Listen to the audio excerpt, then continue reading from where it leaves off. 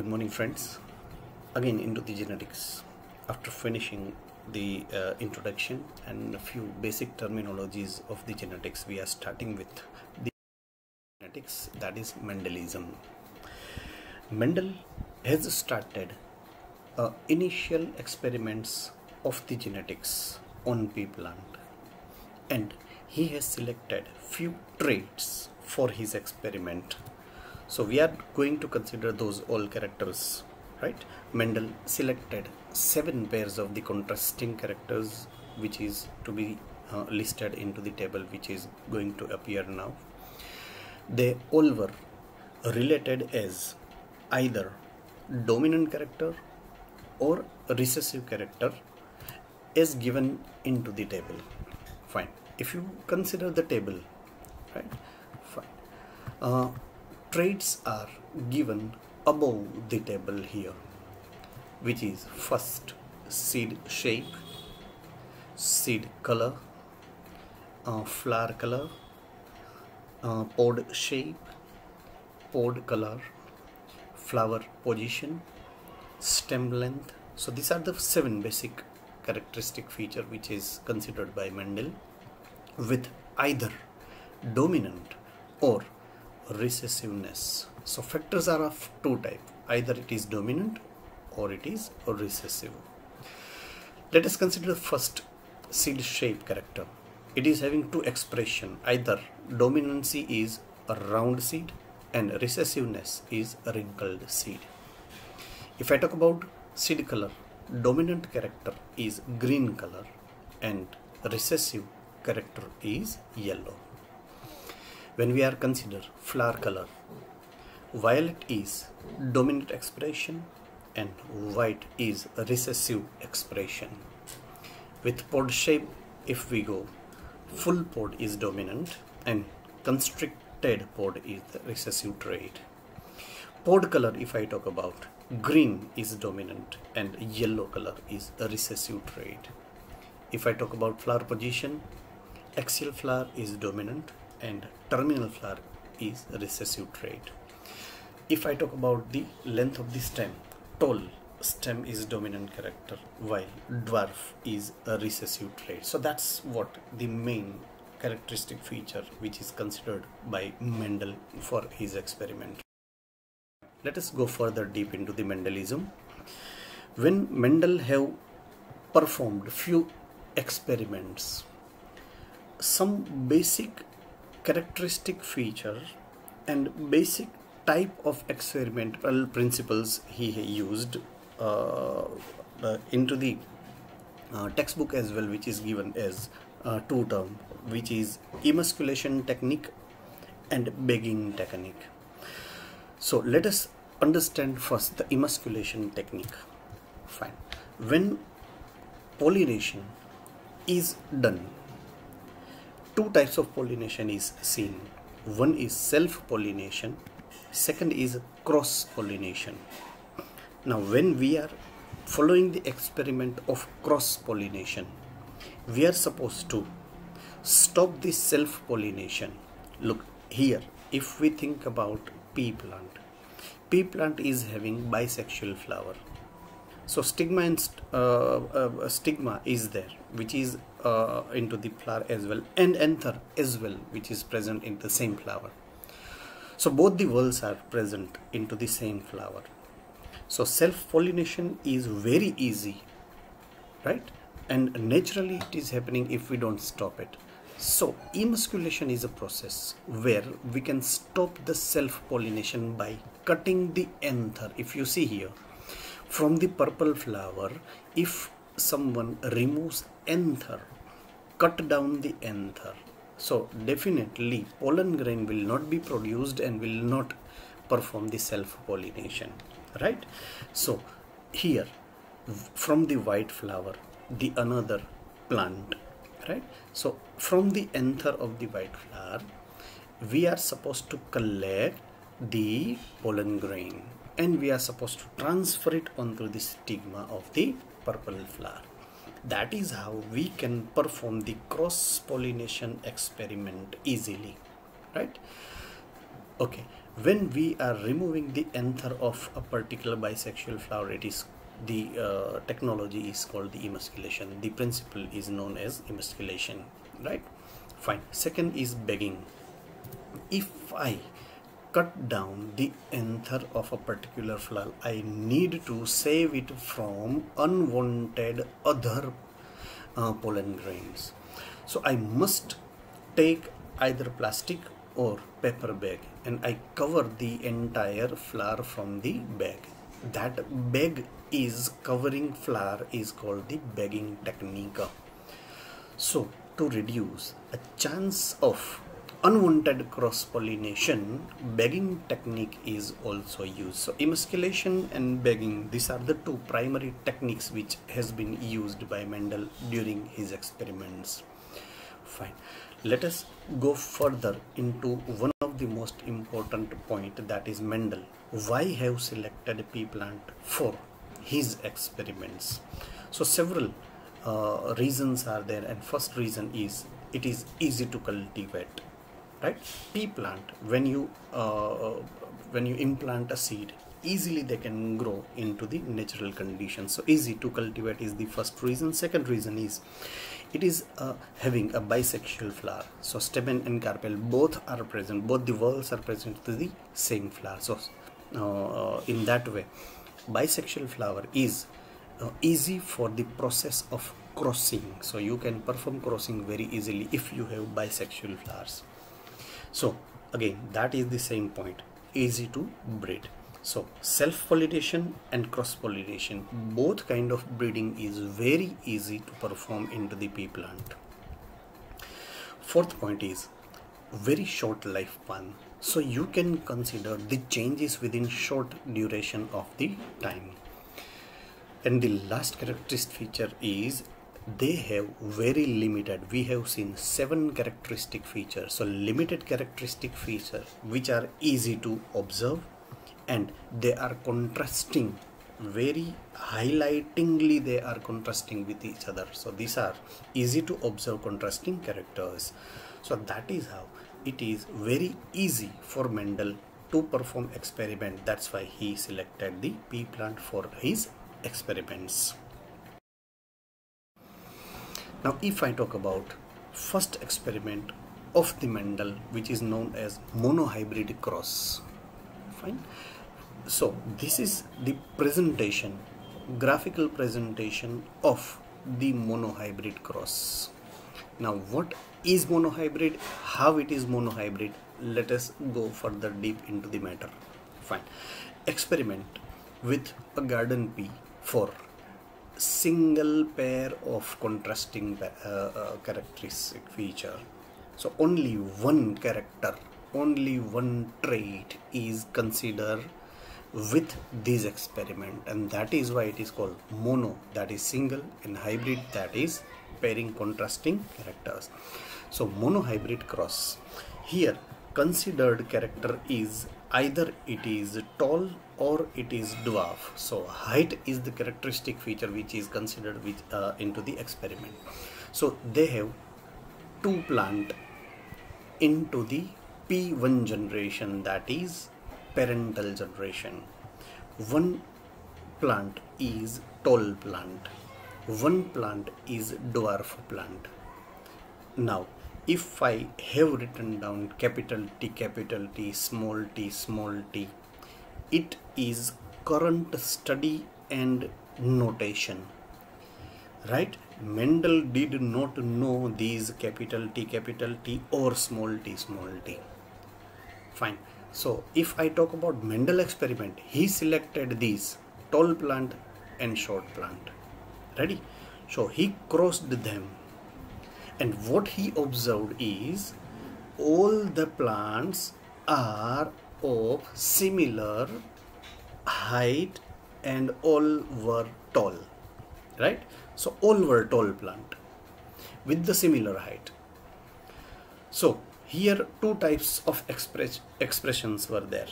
Either it must be tall as one parent or it must be dwarf as the other parent. But into filial one that is first generation all the progeny are tall. So one character is disappeared. Dwarfness is not seen. Now here it is cross pollination and here he performed this self pollination right so from one he uh, taken the pollen grain and transferred it into the other plant. So what happens is that he observed that he find three tall and one dwarf plant. What he observed is that. So one two three tall plant against one dwarf plant at second generation that is f2 generation so that is what observation of monohybrid cross of mendel. Later on discoveries have been made and capital T capital T and small t small t was denoted right? So what was the outcome of the experiment of Mendel right? Let us consider that. So he concluded that tall tall tall three tall is more than one dwarf 75% of total F2 progeny found to be tall and only 25% of the progeny of F2 found to be short or dwarf. So which is more highlighting characteristic feature? It is tallness. So tallness is dominant character and dwarfness is small character. This is outcome of this first experiment. Ready? Later on uh, uh, characters have been denoted. Capital has been assigned to dominant dominant character and small is assigned to the recessive character and that is how. Now we can see that capital T capital T that is tall homozygous we have uh, already explained what is homozygosity right? So when two similar type of capital T and capital T are there it is homo it is pure parent right? Because it is having capital T capital T both together.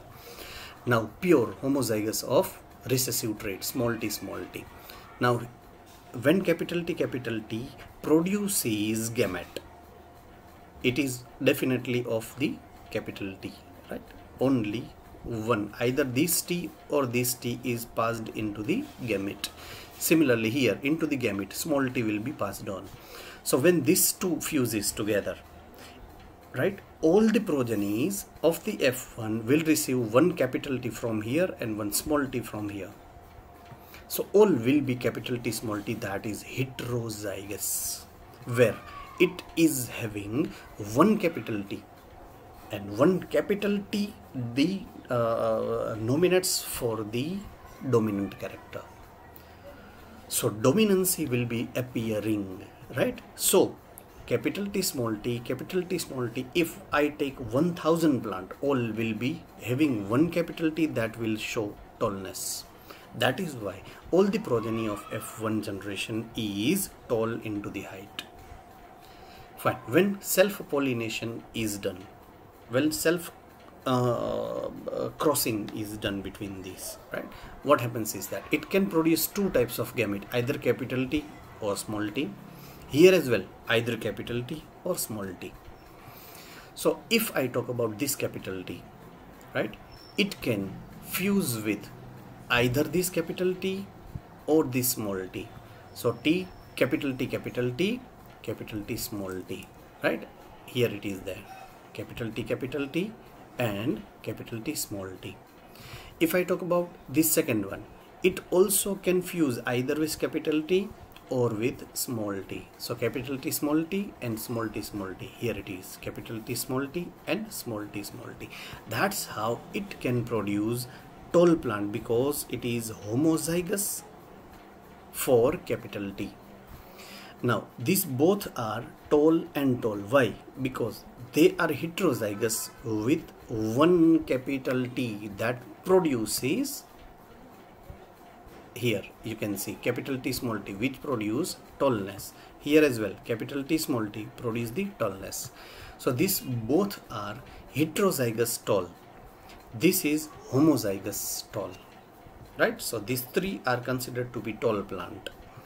This is small t small t homozygous recessive that is dwarf plant so if i talk about the outcome of the experiment right mendel crossed pure tall and dwarf plant. This is pure uh, tall plant. This is pure dwarf. Why pure? Because they are about to have uh, homozygosity into their genotype right? Now the plants belongs to F1 generation and all tall hybrid were self-pollinated. First of all what it uh, has produced it has produced F1 generation and then self-pollination was performed. And the plants of F2 generation here into the F2 generation were both tall and dwarf where uh, tall plants were three. Here it is. And one was the dwarf plant which is these and phenotypically they are 1 is to 2 is to 1 so one is tall homozygous this one. Two are heterozygous tall these are the two. And one is homozygous dwarf which is these.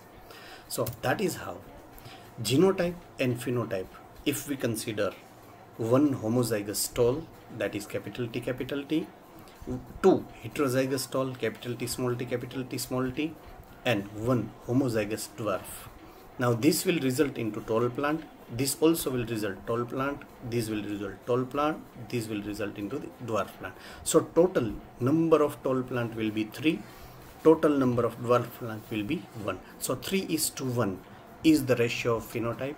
1 is to 2 is to 2 is the ratio of the genotype which is denominated here. Right? So that is what Mendel's first experiment is indicating to us. Fine. We are supposed to understand few postulates of the monohybrid cross. What he has uh, told us what he has expressed from uh, from the experiment and explained to us is first the principle of pair of the character right so all the factors all the characters are having two types of expressions right? So he concluded that traits are transferred from one generation to the other with the help of factors first of all. He uh, given the name factors right now we are considering factor as a genes right? So these factors are always in a pair. For example tallness and dwarfness these are the two uh, determined by pair of contrasting factor. One is for uh, tallness one is for the dwarfness. We already have seen the experiment. A plant is tall because it possesses deter, uh, determiner for tallness. That is factor for tallness which is represented by capital T. And plant is dwarf because it has a denominator uh, sorry determiner or the factor for the dwarfness that is represented by small t. Now these determiners occurs in pair and are received one from either parent right? It uh, the uh, the filial is receiving it from the parental generation. One is from uh, one parent second alternate is from the other parent now exception of these principle, principle of pair factor is multiple allele. Now if I talk about allele, allele is one, uh, look uh, we have seen that determiners are into the pair. So each of the pair is allele. So we have two pairs or we have two alleles of any of the expressive genes but few of the characteristic feature are controlled by more than two alleles which is said to be multiple allele right? We will be uh, uh, seeing it further into the deep later on right? So this exception will be explained later on. Fine. The second postulate second law law of the dominance is a result of the first experiment that is monohybrid. Now what it is saying that on the basis of the behavior of the tallness into the F2 which one was highly expressed? So tallness right? So as a dominant character so it is considered as dominant character. And dwarfness is as recessive character. So in f2 tallness is expressed more that is into the 3 and recessive into the 1 so 3 is to 1 ratio. 3 of tallness 1 is dwarfness. So that dominant character is tallness and recessive character is dwarfness. Now exception of these law of the dominance. Now law, law of the dominance is indicating that from the two factors which are present two alleles which are present only one will express itself. Not more than one can be able to express themselves the other will be recessive only which is not able to express itself. So two of them are not expressed together. Only one will be expressed. That is the dominant one. And recessive will not express. But exceptions are there. Codominance and incomplete dominance. These are the two cases two types of the expression which is showing the exception of the law of the dominance of the Mendelian postulates. Later on definitely we'll discuss about codominance and incomplete dominance into the later period right? Third postulate third law is the law of segregation. Now segregate is meaning that to separate. Now if i talk about determiners that is traits right? Uh, the pair of trait are never contaminated. Now contaminated uh, here is not to be taken as uh, the normal contamination process of either water or air or anything else. But with the uh, considering the genes. So mixing of genes is not happening. Either it can be dominant or it can be uh, it can be recessive. Both if paired together into the generation it is not getting mixed actually. That is what it is saying right? Fine. So when gametes are formed they used to live together. For example capital T and capital T both are there or capital T and small t is there. Both will not be expressed. When capital T is expressing small t will be recessive will be hidden what we say right? So when gamete is formed these unit factors capital T and small t for example so that will be segregated when formation of gamete is there. One capital T will go into the one gamete and small t will move into the other gamete so that each gamete gets only one of the two alternative factors right? So capital T and small t when they have formed together with a, a, a, one pair again when gametes will form they will be segregated they will be formed apart from each other. So that is what law of segregation means right so law of segregation is only happening where gametes are formed to be remembered right? You are supposed to remember. Law of segregation means uh, at the time of gamete formation two factors are getting uh, apart from each other. Fine. When f1 hybrids that is capital T small t are self pollinated the two entities separate out and unite independently producing either tall or dwarf plant. That's what we have understood before right? Fine. So that is what the uh, main three postulates of the monohybrid cross of the Mendel indicating.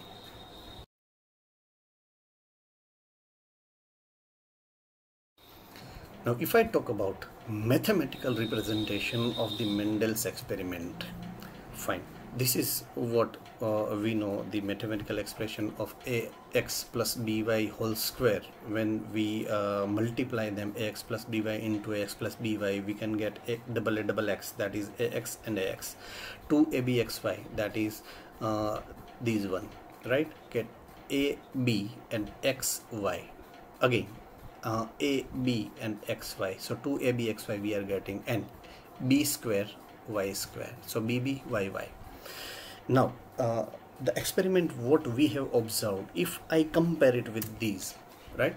We have a x b y. Now x and y let us talk about these factors. So x represent capital T y represent small t. So they are always in pair of the parent. Look this is parent. Capital T capital T small t small t. So capital T stands half of this pair right? Either half is capital T or the other half is capital T. So A is what? It is half of these two. So half T plus half T whole square. It is representing the parental formulation of the experiment. When f1 is produced f1 generation is capital T small t capital T small t. Look here right? So half t plus half t crossed half t plus half t. So this is capital T here this is small t here right? So here capital T small t capital T small t half of it. So this denominates f1 generation. Now when it is crossed down half t half t right? So 1 upon 4 of capital T capital T. Similarly 2 into 1 of the half capital T small t and one of the uh, total for plant will be cap small t small t. So in F2 generation you get total number of 4 plants. One will get capital T capital T right? So uh, in hybrid plant capital T small t. Total number is 2 right? So out of 2 1 so total number of is 2 so 2 plant will be capital T small t. Here it is capital T small t capital T small t. And out of total 4 you will get small t small t 1 that is small t small t. So that is what mathematical repre mathematical representation which was given by the Mendel. But it was not at all uh, considered by uh, the other scientists and that was the reason why Mendel was unable to understood at that time right? A uh, few important points uh, shortcuts uh, specifically for NEET right? So many of the time in NEET several questions are asked where these shortcut will help you to find out several things. Let us consider them. Fine. Finding types of gametes or phenotype of the F2 so formulation is 2 raised to n that is the formula you can use to find out the gamete or phenotype of F2 where n is number of gene or factors.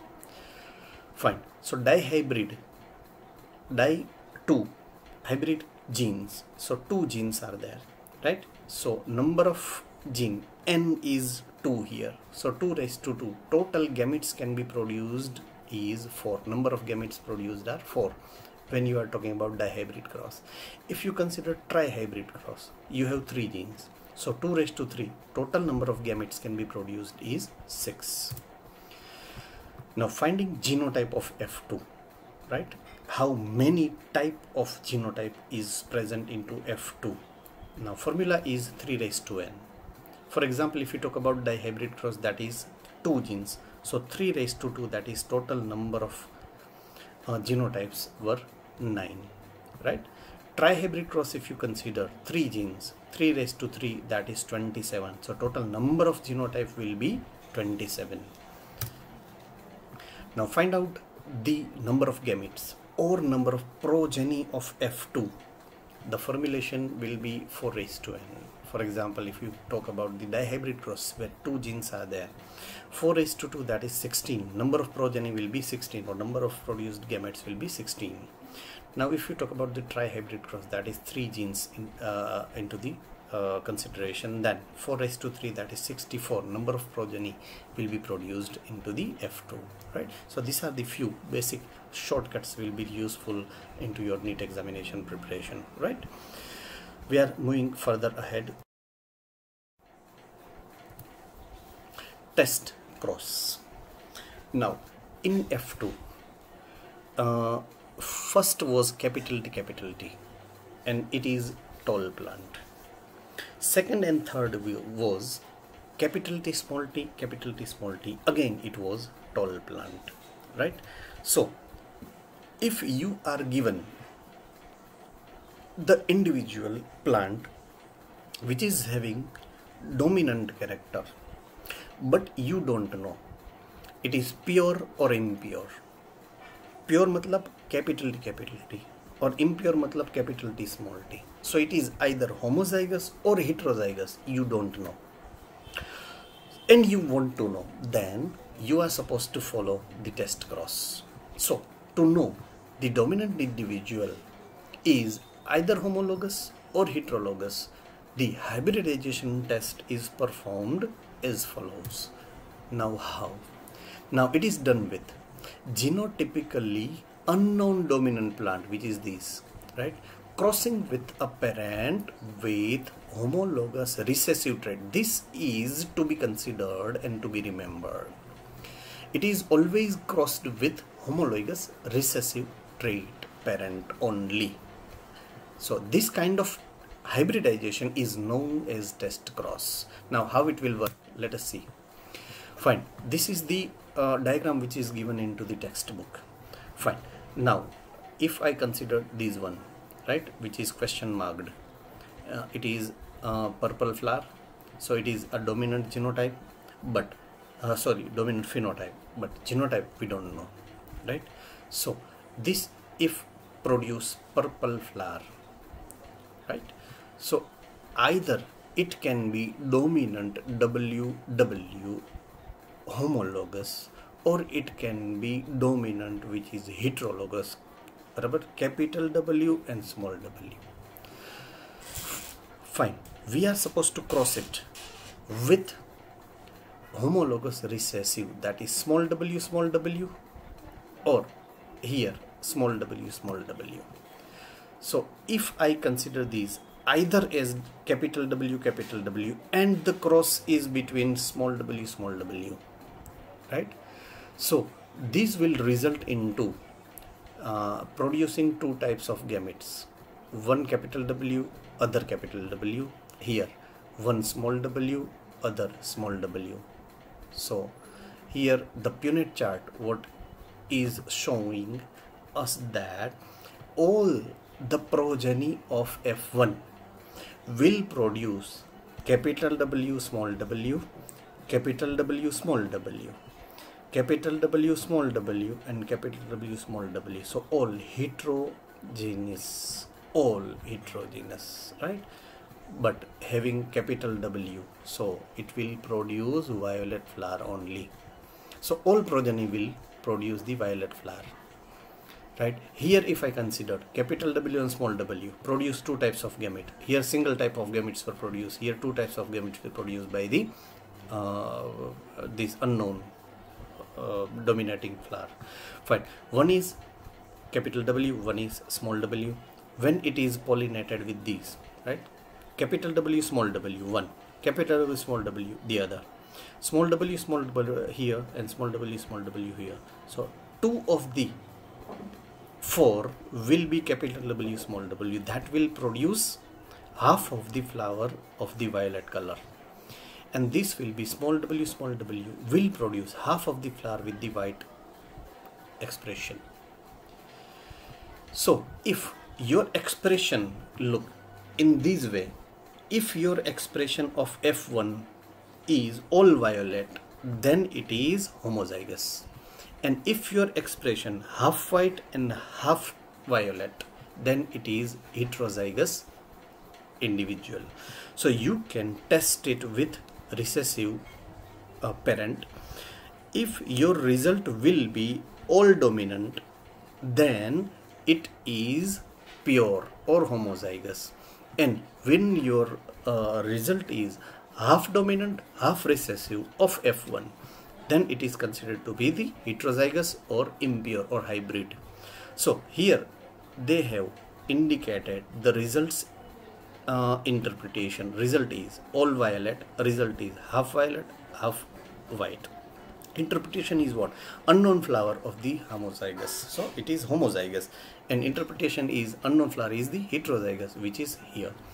So that is how you can test whether unknown phenotypically dominant plant is either homozygous or heterozygous. right so that is what test cross is meaning we are about to conclude the first experiment of the Mendelian genetics and into the next lecture we are going to see about all the exception of the first monohybrid experiment of Mendel.